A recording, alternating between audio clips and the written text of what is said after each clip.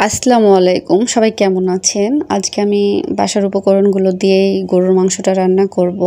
এখানে আমি এক কেজি পরিমাণ গরুর মাংস কেটে দিয়ে পরিষ্কার করে নিয়েছি।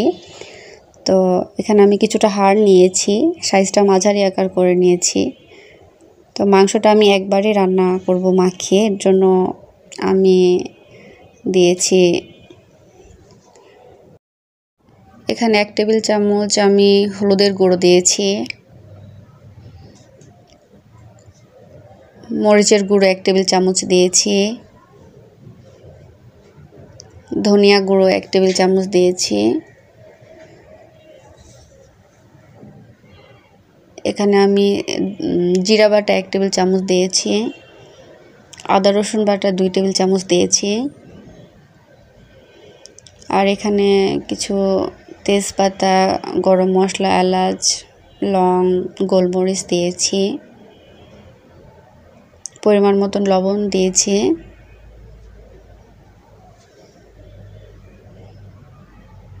এখন আমি এখানে এক কাপ মতো পেঁয়াজ দিয়ে দিব।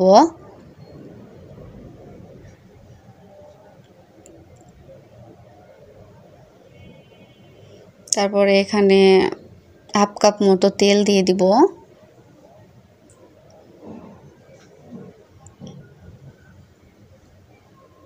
দিয়ে মাংসটাকে ভালো করে মিক্সড করে নিব। কারণ মাংসটা যত ভালোভাবে মাখানো হবে টেস্টটা তত বেশি সুন্দর আসবে। মাংসটা ভালো মতো মিক্সড করে আমি এটা বিশ থেকে তিরিশ মিনিট ঢাকনা দিয়ে ঢেকে রাখব। তো আমার মাংসটা মিক্সড করানো হয়ে গেছে।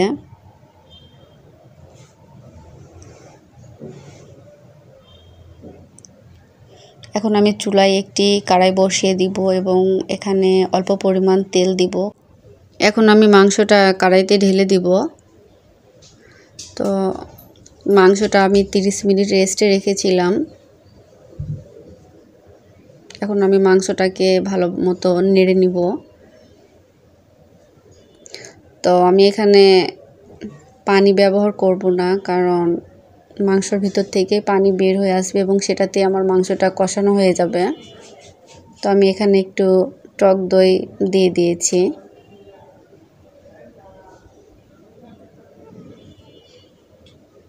ঢাকনা দিয়ে পাঁচ মিনিট ঢেকে দিয়ে আবারও ঢাকনাটা খুলে দিব। তো দেখুন কতগুলো মাংস থেকে পানি বের হয়েছে। আমি এখানে পানি ব্যবহার করিনি। এই পানিতে আমি মাংসটাকে সুন্দর করে কষিয়ে নিব।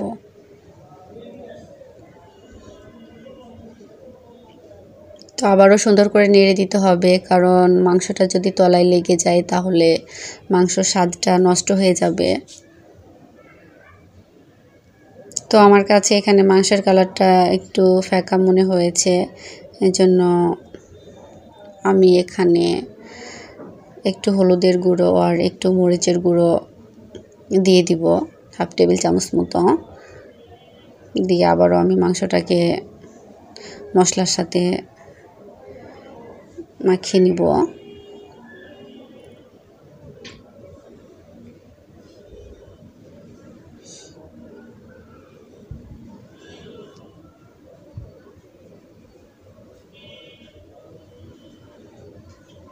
আবারও আমি ঢাকনা দিয়ে এটা ঢেকে দিব। তো আমার মাংসতে এখনও পানি আছে, পানি শুকায়নি। এটা পানি শুকিয়ে যখন তেল বের হয়ে আসবে তখন মাংসটা আমার পুরোপুরি কষানো হবে। দেখুন বন্ধুরা, মাংসটা আমার প্রায় কষানো হয়ে গেছে।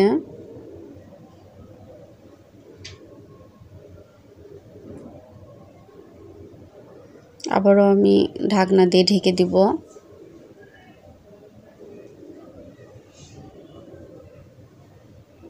তো আমার মাংসটা কষানো হয়ে গেছে। মাংস থেকে তেল বের হয়ে এসেছে।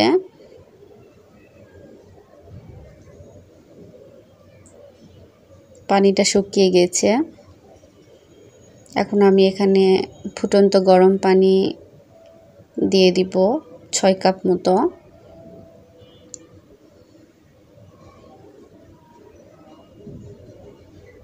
দিয়ে মাংসটা আবারও নেড়ে নিব।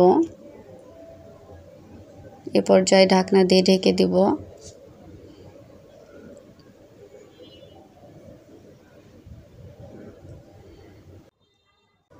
তো এখানে আমি চার পাঁচটি কাঁচা মরিচ কয়েক টুকরো রসুনের কুয়া দিয়ে দিব। এটা পুরোটাই অপশনাল আপনারা না চাইলে এটি দিতে পারেন। জাস্ট একটা ফ্লেভারের জন্য।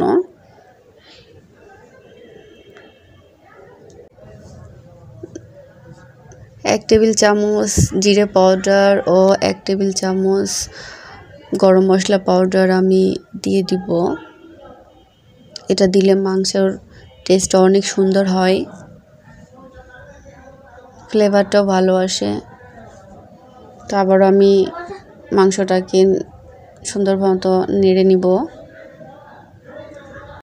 তো মাংসটা আমার সিদ্ধ হয়ে গেছে। এখন ঝোলটা একটু টানিয়ে নিলে মাংসটা হয়ে যাবে। তো ঘরে থাকা উপকরণগুলো দিয়েই আমার মাংসটা হয়ে গেল। এটা দেখতেও যতটা মজা, খেতেও অনেকটা মজা, আর কালারটা অসম্ভব সুন্দর। তো সবাই ভালো থাকবেন, সুস্থ থাকবেন। আজকে এ পর্যন্তই। আল্লাহ হাফেজ।